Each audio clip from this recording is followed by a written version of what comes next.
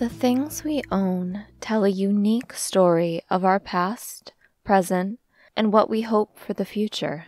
In The Sims 4, we can tell our Sims story through the kind of house they inhabit and how it's decorated. We'll be picking up again with the Hardy family Prisha, Freddie, and their two girls, Robin and Uma. If you want to learn more about them, please check out the other video in this series, How to Tell a Story Through Create a Sim.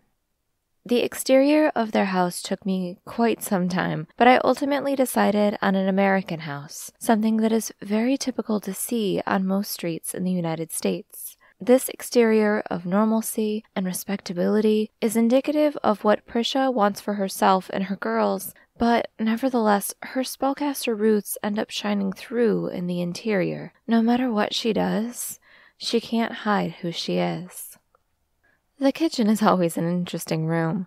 I feel like so much happens when a family comes together for a meal, and it was important to me to not only have it slightly separated so that it would be a separate place to go to for private conversations, but also have it be a part of the rest of the house. For colors and patterns, I wanted it to have rich jewel tones, a little unexpected from the more normal exterior. Having a kind of lush decadence was important to me since both Prisha and Freddie came from wealthy families. For building the story into this house, the exterior needed to reflect the normalcy and standard suburban life that this family wants to project. The interior, though, focuses on depth and mystery relayed through color and object choice. Although Prisha has a number of magical artifacts around, I suspect that she tells Freddie that she is just a bit superstitious or new agey, and he never really thinks to look further.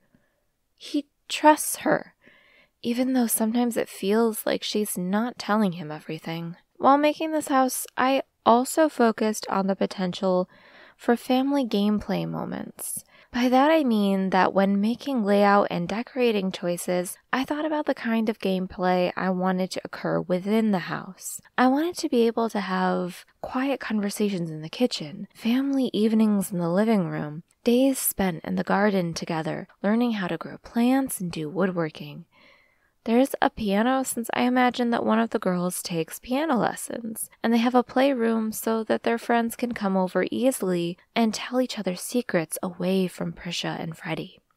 I decided early on in arranging the living room layout that this family wouldn't have a television. Instead, their living room would be centered around the hearth. They would read books and do crafts in the evenings. They aren't the most traditional people in the world. Freddie and Prisha are the kind to do rather than to watch, after all, and they want to raise their girls to do the same. The girls' bedroom is downstairs and a bit separate from their parents. They have an inner bedroom and an outer playroom, as I mentioned before. I wanted their upbringing to be a little traditional in some respects, with curfews and rules, chores and lessons. It's important to Prisha, after all, that her girls have that normalcy that her own upbringing was lacking. Upstairs, the entire floor is a bedroom for Prisha and Freddie. Downstairs is all jewel tones and vibrancy, but upstairs is more muted browns, whites, and creams. There's a bonsai tree for them to work on in the evenings, and a little meditation nook for Prisha in the mornings. I suspect that eventually she'll be teaching the girls as well to help them harness their budding powers, and eventually she may teach them how to center themselves in the backyard as the sun sets behind them. I did a few last final touches curtains, the sign for shoes to be taken off once visitors enter the house, some more little activities, and then the house is ready for inhabitants at last. When the family enters the house for the first time, we can see what a typical day for them might be like. It's a Sunday, mid morning, so it's about time for Prisha and Robin to head to the garden, and Freddie to head to his woodworking. Uma, meanwhile, spends her time alone in the playroom, drawing and dreaming up stories in her head. At noon, Prisha calls up the grocery store for delivery, and when it arrives, she and Uma make lunch for the family. Freddie washes up from a morning of woodworking, but Robin refuses, too busy fooling around outside to stop before she has to. After lunch, the family disperses and Prisha thinks, would it hurt to just magic the dirty dishes away? The house is set up to allow for these moments and this type of routine for the family.